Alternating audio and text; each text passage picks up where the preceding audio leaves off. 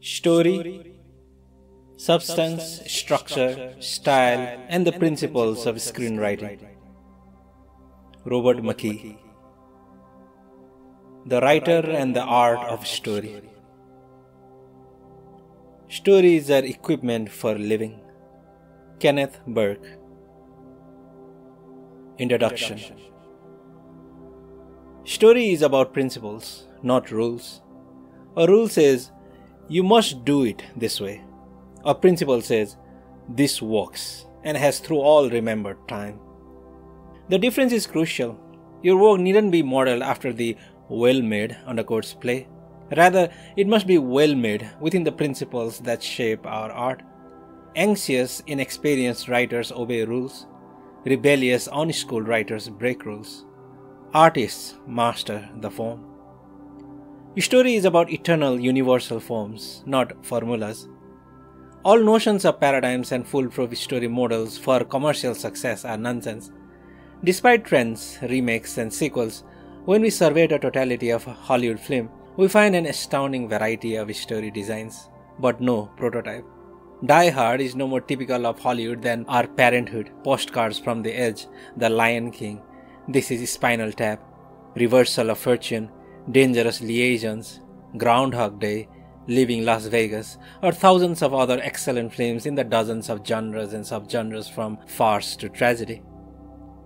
Story urges the creation of works that will excite audiences on the six continents and live in revival for decades. No one needs yet another recipe book on how to reheat Hollywood leftovers. We need a rediscovery of the underlying tenets of our art the guiding principles that liberate talent. No matter where a film is made, Hollywood, Paris, Hong Kong, if it's of archetypal quality, it triggers a global and perpetual chain reaction of pleasure that carries it from cinema to cinema, generation to generation. Story is about archetypes, not stereotypes. The archetypal story unearths a universal human experience, then wraps itself inside a unique culture specific expression. A stereotypical story reverses this pattern. It suffers a poverty of both content and form. It confines itself to a narrow, culture specific experience and dresses in stale, non specific generalities. For example, Spanish custom was dictated that daughters must be married off in order from oldest to youngest.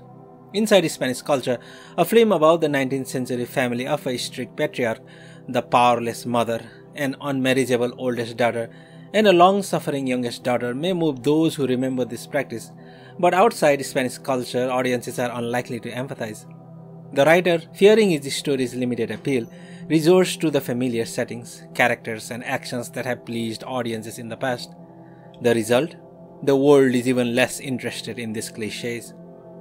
On the other hand, this repressive custom could become material for a worldwide success if the artist were to roll up his sleeves and search for an archetype. An archetypal story creates settings and characters so rare that our eyes feast on every detail, while its telling eliminates conflicts so true to humankind that it journeys from culture to culture. In Laura Esquivel's Like Water for Chocolate, mother and daughter clash over the demands of dependence versus independence, permanence versus change, self versus others, conflicts every family knows. Yet Esquivel's observation of home and society, of relationship and behavior is so rich in never before seen detail, we're drawn irresistibly to these characters and fascinated by a realm we've never known nor could imagine. Stereotypical stories stay at home, archetypal stories travel. From Charlie Chaplin to Ingmar Bergman, from Satyajit Ray to Woody Allen, the cinema's master storytellers give us the double edged encounter we crave. First, the discovery of a world we do not know. No matter how intimate or epic, contemporary or historical, concrete or fantasized, the world of an eminent artist always strikes us as somewhat exotic or strange. Like an explorer parting forest leaves, we step wide eyed into an untouched society, a cliche free zone where the ordinary becomes extraordinary. Second, once inside this alien world, we find ourselves. Deep within these characters and their conflicts, we discover our own humanity. We go to the movies to enter a new fascinating world, to inhabit vicariously another human being who at first seems so unlike us and yet at heart is like us, to live in a fictional reality that illuminates our daily reality. We do not wish to escape life, but to find life, to use our minds in fresh, experimental ways, to flex our emotions, to enjoy, to learn, to add depth to our days. Story was written to foster frames of archetypal power and beauty that will give the world this dual pleasure. Story is about thoroughness, not shortcuts. From inspiration to last draft, you may need as much time to write a screenplay as to write a novel. Screen and prose writers create the same density of world, character, and story, but because screenplay pages have so much white on them, we're often misled into thinking that a screenplay is quicker and easier than a novel. But while scribomaniacs fill pages as fast as they can type, film writers caught and caught again, ruthless in their desire to express the absolute maximum in the fewest possible words. Pascal once wrote a long drawn out letter to a friend, then apologized in the postscript that he didn't have time to write a short one. Like Pascal, screenwriters learn that economy is key, that brevity takes time, that excellence means perseverance. Story is about the realities, not the mysteries of writing. There's been no conspiracy to keep secret the truths of our art. In the 23rd century, since Aristotle wrote The Poetics, the secrets, course, of story have been as public as the library down the street. Nothing in the craft of storytelling is abstruse. In fact, at first glance, the telling story for the screen looks deceptively easy, but moving closer and closer to the center, trying scene by scene to make the story work, the task becomes increasingly difficult, as we realize that on the screen there's no place to hide. If a screenwriter fails to move us with the purity of a dramatized scene, he cannot, like a novelist in authorial voice or the playwright in soliloquy, hide behind his words. He cannot smooth a coating of explanatory or emotive language over cracks in logic, blotchy motivation, or colorless emotion and simply tell us what to think or how to feel. The camera is dread X-ray machine of all things false. It magnifies life many times over, then strips naked every weak or phony story turn until in confusion and frustration we're tempted to quit. Yet, given determination and study, the puzzle yields. Screenwriting is full of wonders, but no unsolvable mysteries. Story is about mastering the art, not second guessing the marketplace. No one can teach what will sell, what won't, what will be a smash or a fiasco, because no one knows. Hollywood's bombs are made with the same commercial calculation as its hits, Whereas darkish dramas that read like a checklist of everything moneyed wisdom says you must never do, ordinary people, the accidental tourist, Trainspotting, quietly conquer the domestic and international box office. Nothing in our art is guaranteed. That's why so many agonize over breaking in, undercoats, making it, undercoats, and creative interference, undercoats. The honest, big city answer to all these fears is that you'll get an agent, sell your work, and see it realized faithfully on screen when you write with surprising quality, and not until. If you knock out a knockoff of last summer's hit, you'll join the ranks of lesser talents who each year flood Hollywood with thousands of cliche ridden stories. Rather than agonizing over the odds, put your energies into achieving excellence. If you show a brilliant original screenplay to agents, they'll fight for the right to represent you.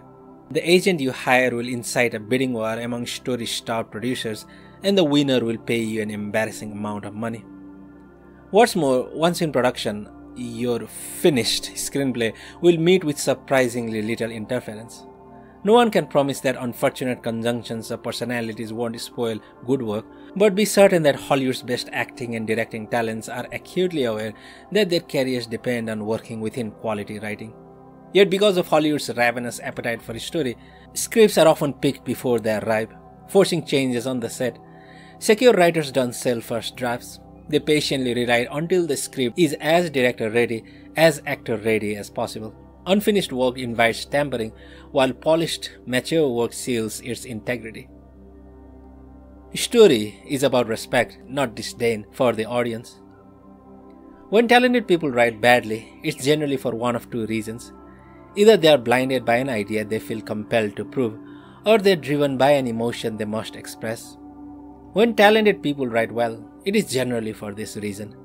They are moved by a desire to touch the audience. Night after night, through years of performing and directing, I've stood in awe of the audience, of its capacity for response.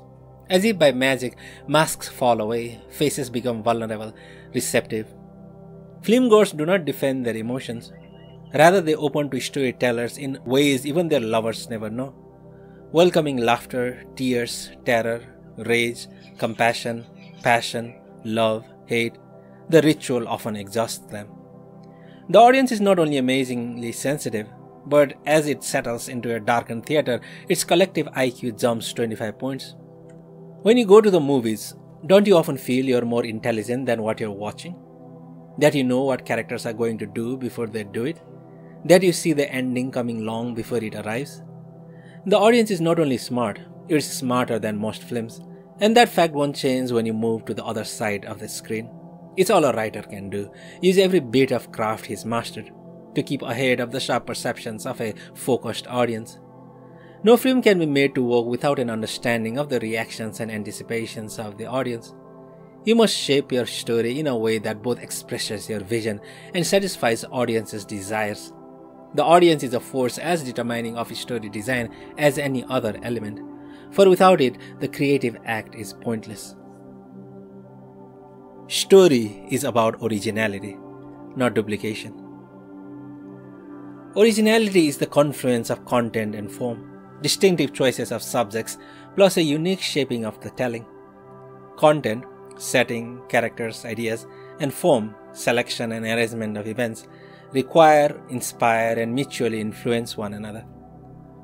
With content in one hand and a mastery of form in the other, a writer sculpts a story. As you rework a story's substance, the telling reshapes itself. As you play with a story's shape, its intellectual and emotional spirit evolves. A story is not only what you have to say, but how you say it. If content is cliche, the telling will be cliche. But if your vision is deep and original, your story design will be unique. Conversely, if the telling is conventional and predictable, it will demand stereotypical roles to act out well worn behaviors. But if the story design is innovative, then setting, characters, and ideas must equally be fresh to fulfill it. We shape the telling to fit the substance, rework the substance to support the design. Never, however, mistake eccentricity for originality. Difference for the sake of difference is as empty as slavishly following commercial imperatives.